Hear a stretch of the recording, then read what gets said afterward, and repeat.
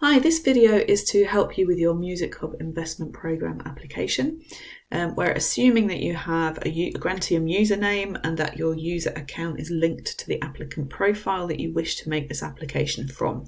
If you're not quite at that stage yet, then you can visit the Arts Council website. Uh, the Grantium support page will lead you through getting to that point. But for now, let's assume you're at that point.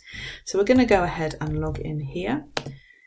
Um, this is a training version of Grantium, so everything has been set up for training purposes.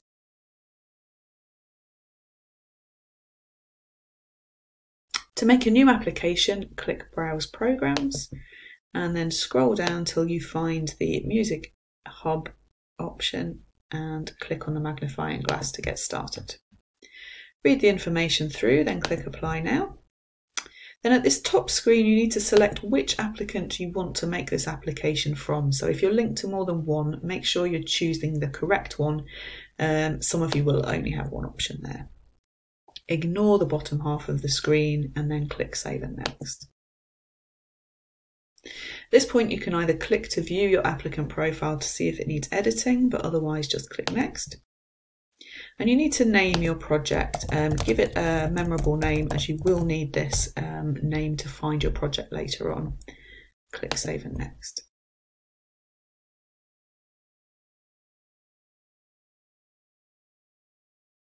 So we're now inside the eligibility questionnaire and it's just a case of filling this in screen by screen. So we'll read through the information and then click next. And then you just need to answer these questions one, um, one by one. Um, so I'm just going to show you what happens if you do answer a question that would make your um, application ineligible. You will get a message at the end of this step to let you know and it won't let you proceed any further. So I'm going to answer these questions to make sure that we're eligible. Um, I'm also going to answer them in such a way that it will open up the biggest possible application form. So Grantium works like a flowchart. Um, so the way you answer questions determine what screens and questions open up as you go. So I'm going to show you the biggest, longest possible option. So yes, I am a consortium for that purpose. So when you finish, click Save and Next. And again, just um, answer these questions.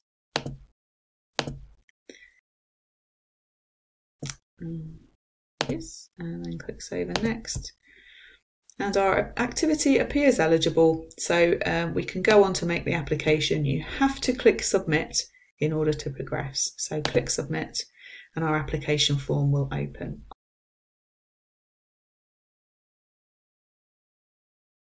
So on this screen, make sure in the top left hand corner that you've got the correct applicant selected that you're working from at the moment.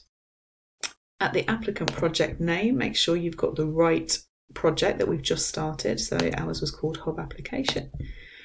And we can see our eligibility questionnaire was submitted and our application is ready for us to start working on. So we'll click into the orange folder to take us inside the application.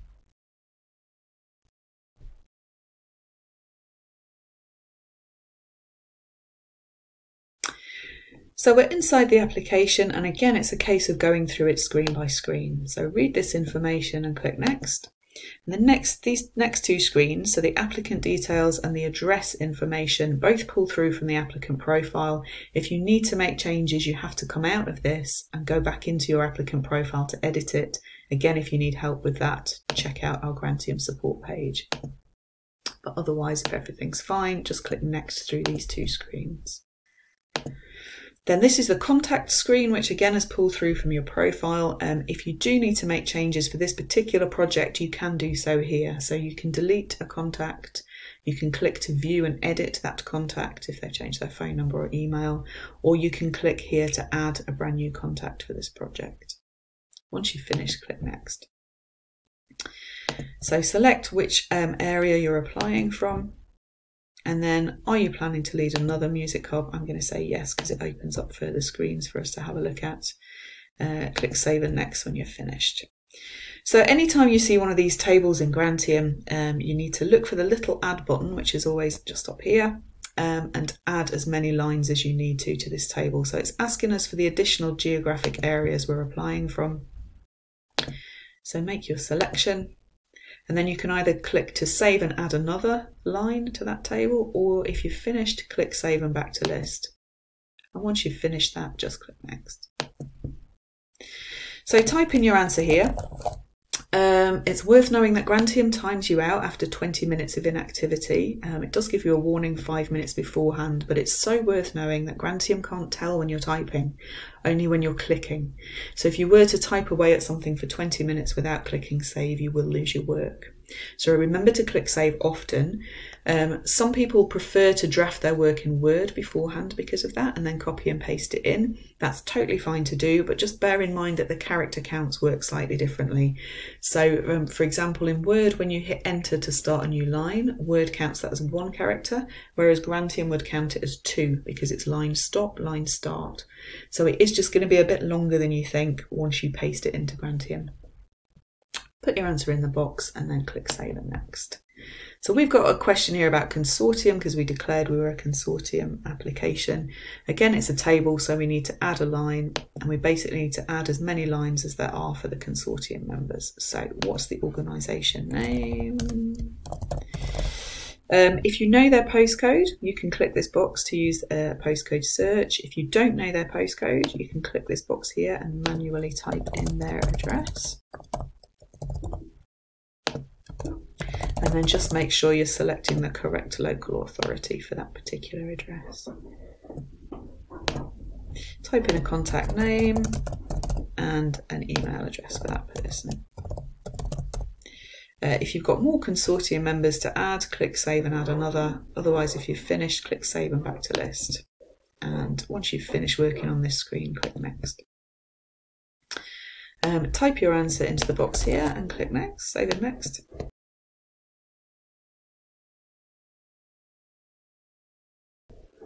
And then this is an important screen. So this is your Music Hub development plan and you need to list all of the key priorities and milestones for your proposed project. So there's a maximum of 50 rows you can add at this point. Um, so find that add button to start listing your first priority or milestone. So does this priority or milestone have a specific date attached to it, or are you estimating a time period for it? If you choose specific date, it'll ask you for the date. If you choose an estimated time period, it'll ask you for the estimated start and finish dates. So I'm just going to pop some dates in here. Um, type up your activity plan. Who's the task lead for this? Um, and then if you've um, got identified any risks for this particular um, milestone, type them in here. If you've not got any risks, then you can just leave that blank. If you've finished adding your milestones and priorities, you can click save and back to list. If you've still got more to add, you can click save and add another and just keep working through them. Once you've finished, click save and back to list. And they will all be listed out here. And click next. Type in your answer about partnerships and click Save and Next.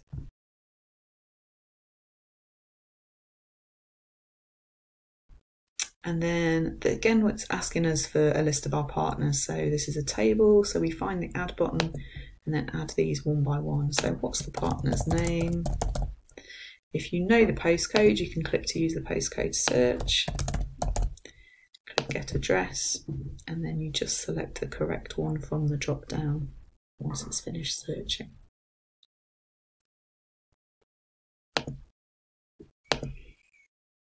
Okay, what type of partnership is this? Delivery, strategic or both? The status of the partnership? And do you intend to use core revenue grant? If you select yes to this question, it will then ask you for an indicative amount. So just type that in. Then type in your answer here and save and next.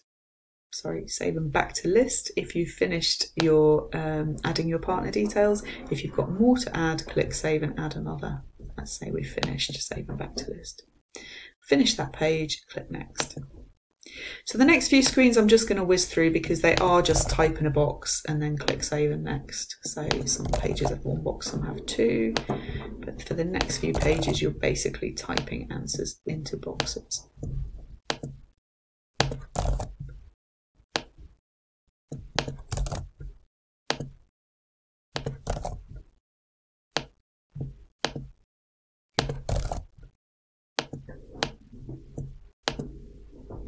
Okay, and then governance and management, again, you get a couple of box to type boxes to type into. And then it does tell you at the bottom here that you are going to be able to upload an attachment to um, demonstrate your governance and management structure, such as a visual diagram.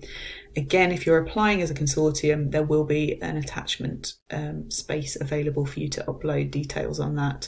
That's on the attachments page. We're coming to that. So this is just to let you know that that's coming up and you will have that opportunity. So we'll click save and next on that.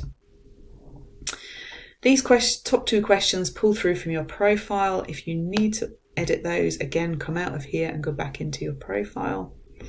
Otherwise, we'll carry on from this question here and then type your answer here and save and next.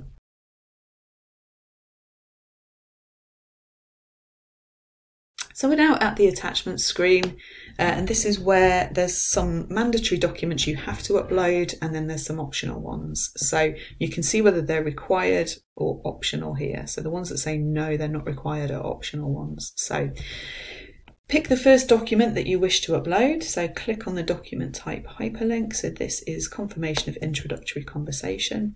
Give your document a description. So proof of intro conversation. Then click to choose the file from your computer that you want to upload. And then click save and back to list. So do this for each one.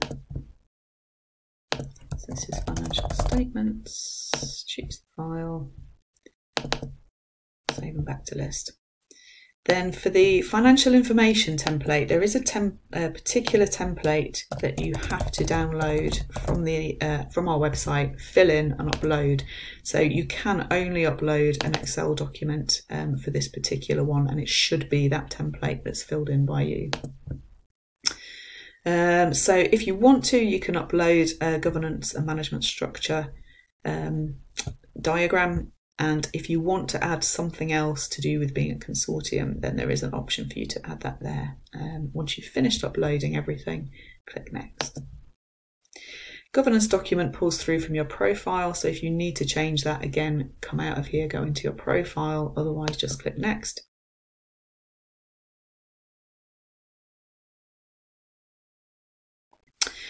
This is the monitoring information page. So um, you just need to fill this in quite carefully. So um, first of all, declare how many members of senior management and how many board members there are. So let's say that there was five of each. Then for each position, you have to declare each of these things. So if your chief exec is called something slightly different in their job title, you can type that in there. But otherwise, um, just fill in um, all of these questions for all of these people here. So make your um, options there. You have to fill in all four of those. Then the sections underneath, you need to say what the breakup is of these 10 people. What is their ethnicity? To start off with. So maybe there's four British, two white and black Caribbean, and what's that other two? Six, four African, for example. So make sure that it's always adding up to that ten, those those ten people, or however many you've declared, and you do that for each category. So sexual orientation, what's the split? Socioeconomic, age, disability, neurodivergency, and so on. So fill in each section and make sure it always adds up to the number that you've declared up at the top. Once you've finished working on that page, click Save and Next.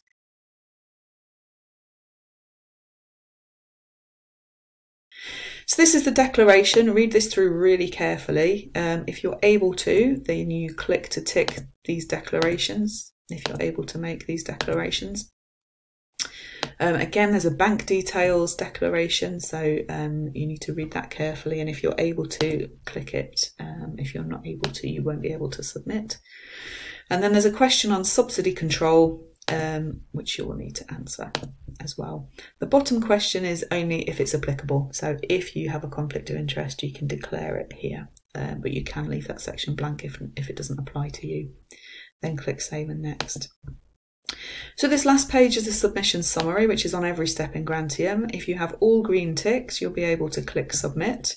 But if there's any red crosses, then there will be an error message here telling you exactly what's wrong. You can click on it and um, it will take you back to that page to, to finish off. So we didn't finish off the monitoring information. Uh, so that's what that's telling us here. But once you'd finished that off, you'd be able to click submit and then that would be it. Your application will have been submitted.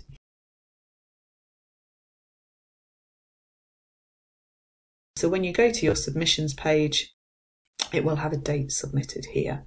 Um, you'll get an email to let you know once the decision's been made on your application. And again, this is the section you would come to submissions, and you will have a notification here for you to open to let you know uh, if your application has been successful or not.